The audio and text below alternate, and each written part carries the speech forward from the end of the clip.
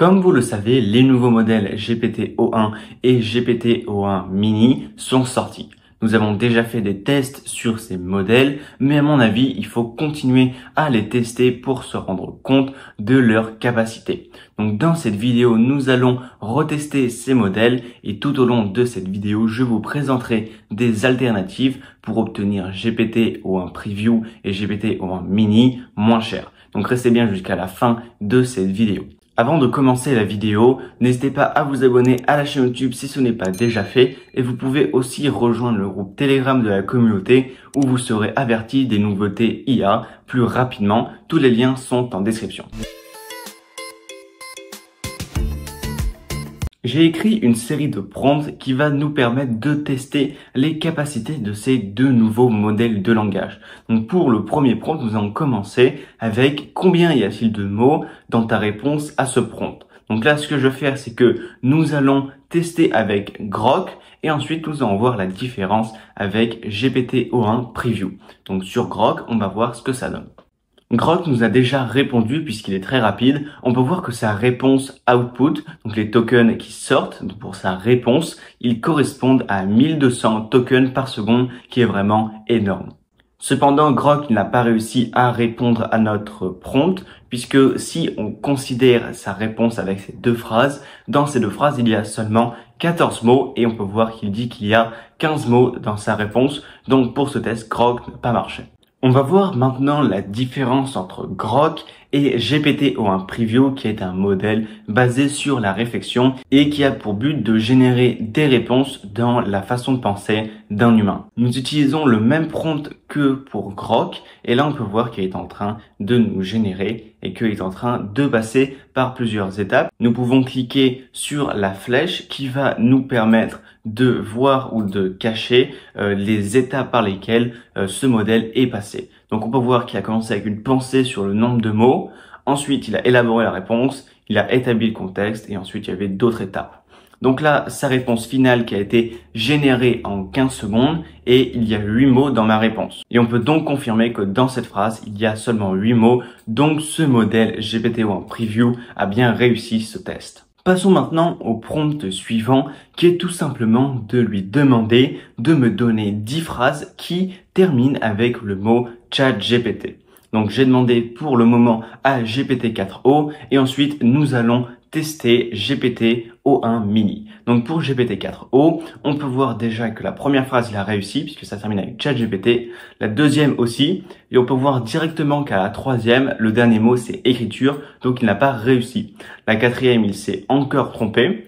Ensuite, à la huitième, il s'est encore trompé et sinon le reste est juste. Mais on peut voir qu'il a quand même fait pas mal de fautes. Passons maintenant au modèle GPT-O1 Mini qui est tout simplement plus rapide que GPT-O1 Preview. Donc nous allons voir ce que cela donne. Nous lançons donc notre prompt et nous pouvons voir qu'il est en train de générer. Pour la première phrase, il finit bien par ChatGPT.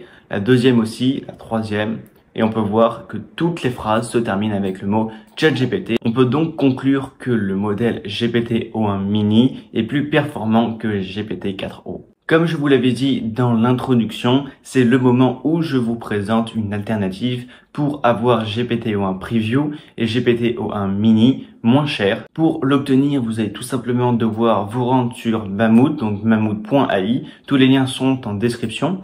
Et comme vous pouvez le voir ici, pour 10 dollars par mois, vous allez pouvoir avoir accès à Claude 3.5, GPT-4o, Lama, Mistral, Gemini. Et vous allez aussi pouvoir utiliser O1 Preview ainsi que Midjourney, DALI 3, Stable Diffusion et Flux. La deuxième alternative que vous allez pouvoir utiliser, vous la connaissez, j'ai déjà fait plein de vidéos dessus. Elle s'appelle Cider AI. C'est une extension Chrome basée sur intelligence artificielle qui se trouve dans votre sidebar, la barre latérale. Donc elle se trouve normalement comme ça, mais pour vous montrer, je vais vous mettre en plein écran.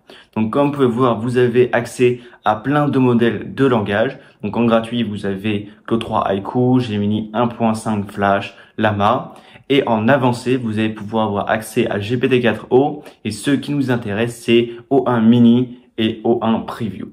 Concernant les prix, nous avons donc en basique à 6,7 dollars par mois. Vous allez avoir accès à 3600 euh, crédits basiques par mois, donc qui vont vous permettre d'utiliser des modèles comme euh, GPT-4 Mini, Claude 3, Aiko, etc.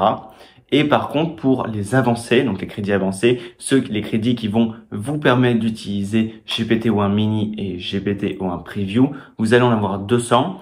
Mais faites attention puisque pour une requête de GPT ou un preview, ça correspond à 15 crédits et une requête de GPT ou un mini, ça correspond à 3 crédits avancés. Par contre, si vous prenez le plan à 12,4 dollars par mois, là vous allez avoir accès à des crédits illimités en basique et aussi en avancé. Vous allez donc pouvoir utiliser GPT ou un preview en illimité et GPT ou un mini aussi en illimité. Maintenant, nous allons proposer au modèle GPT-O1 un prompt, donc un problème, et il va essayer de le résoudre, donc nous allons voir ce que ça donne.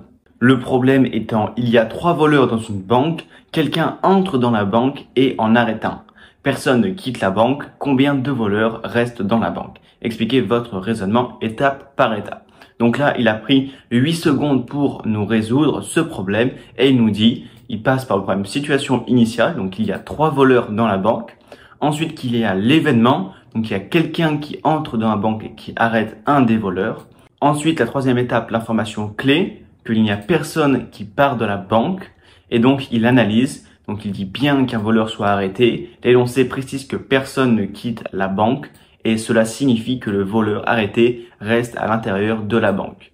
Les deux autres voleurs sont toujours dans la banque n'ayant pas quitté les lieux. Conclusion, il reste donc trois voleurs dans la banque. On peut donc voir que ce modèle a réussi à répondre à notre question et maintenant nous allons demander le même prompt, ce que nous allons utiliser GPT-4o. Donc nous lançons le même prompt sur GPT-4o et on peut donc voir que GPT-4o a aussi réussi le test puisqu'à la fin, il nous dit qu'il reste trois voleurs dans la banque. Ici, nous avons un graphique qui compare les performances entre le modèle GPT-4o et le modèle GPT-o1 On peut donc voir que l'ancien meilleur modèle d'OpenAI GPT-4o, il vient d'être complètement dépassé par GPT-o1 Preview, puisque là dans les maths, on peut voir que GPT-4o est à 60,3 alors que GPT ou en preview est à 94,8. On peut aussi voir que dans d'autres domaines comme la physique ou bien la biologie, donc dans la physique, GPT-4o est à seulement 59,5 et GPT-o en preview est à 92,8. Donc on va voir qu'il y a vraiment un gros écart et dans les autres benchmarks, il y a quand même une différence entre ces deux modèles de langage. Nous allons maintenant passer au prompt suivant et nous allons tester les capacités de GPT-4o comparé à GPT-o1 Preview. Donc pour ça, je vais lui poser une question sur une équation du quatrième degré où je vais tout simplement lui demander de me la résoudre. Donc nous lançons ce prompt, comme vous pouvez voir ici, c'est l'équation. Ici, GPT-4o propose plusieurs méthodes pour résoudre cette équation. Il nous dit qu'au début, il faut tester x égale 1 et x égale moins 1. Comme ni plus 1 ni moins 1 ne sont des racines, il n'y a pas de racine rationnelle évidente. GPT-4o propose d'utiliser des méthodes comme la factorisation par regroupement. GPT-4o n'a pas répondu directement à mon prompt, à cette équation, puisque je lui ai demandé de me résoudre cette équation et il m'a donné une méthode de comment le faire, mais il ne l'a pas fait. Donc là, je lui ai demandé de me résoudre l'équation par euh, factorisation en regroupement. Donc là, il nous dit ça. Et à la fin, nous allons voir directement le résultat. Les possibilités de x étaient 0, 1 ou 3. Or, il nous dit que c'est 1. Cependant, si on remonte la conversation, il nous dit bien que les solutions ne peuvent être ni plus 1 et ni moins 1 puisque ce n'est pas des racines. Donc on peut voir que là GPT-4o vient de se tromper. Donc il nous a pas donné le résultat dès le premier prompt et il s'est trompé. Maintenant, nous allons voir ce que cela donne avec GPT ou un preview. Comme GPT ou un preview ne supporte pas les images, les fichiers, je lui ai donc mis l'équation en tant que texte. Donc là, je lui ai mis le même prompt qui est résout l'équation. Et là, je lui ai mis l'équation. Nous lançons la recherche et nous allons voir ce que cela donne. On va voir s'il arrive à nous répondre du premier coup et s'il nous donne un résultat.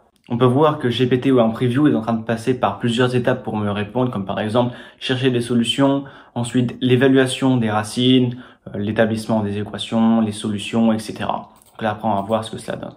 Donc là, ce qu'il a fait, c'est qu'il a factorisé. Ensuite, il a développé. Puis, il a comparé les coefficients. Et donc, il a obtenu ce système d'équations. Ensuite, il a choisi B égale D égale 1. Donc, il passe euh, dans un processus. Ensuite, il utilise la formule quadratique. Donc, il résout cette équation. Ensuite, il mentionne les facteurs. Puis, il résout chaque équation quadratique séparément pour ensuite calculer le discriminant et à la fin arriver tout simplement à la solution qui est cette équation. Donc ici, 1 en racine réelle et en racine complexe. Je viens de résoudre cette équation par moi-même et je peux vous confirmer que c'est GPT-O1 Preview qui a eu la bonne réponse. On peut donc constater que GPT-4o, qui avec ses réponses avec x égale 0, 1 et 3, que ses réponses étaient fausses. C'est pour ça qu'il y a autant d'écart entre les benchmarks concernant les mathématiques et les matières scientifiques entre GPT-4o et GPT-o1 Preview. Vous avez donc compris dans cette vidéo que GPT-o1 Preview et GPT-o1 Mini sont vraiment beaucoup plus forts que les autres modèles de langage. Comparé à GPT-4o, on peut voir une grande différence entre GPT-4o et GPT-o1 Preview. Il y a vraiment une énorme différence, surtout concernant les mathématiques. Les alternatives que je vous ai présentées dans cette vidéo pour obtenir GPT-O1 Preview et GPT-O1 Mini vont vous permettre de les avoir moins chers et dans certains cas en illimité. Car si vous prenez le plan ChatGPT Plus pour avoir GPT-O1 Preview et GPT-O1 Mini, vous allez devoir payer 20 dollars et ce sera environ 15 requêtes tous les deux jours.